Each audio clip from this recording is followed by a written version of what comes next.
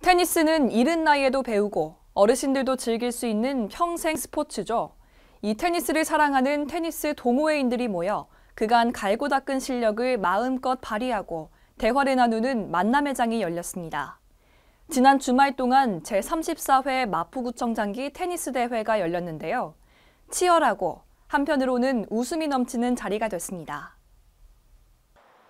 지난 24일 오전 8시 30분 망원 나들목 테니스장에서 제34회 마포구청 장기 테니스 대회가 개최됐습니다.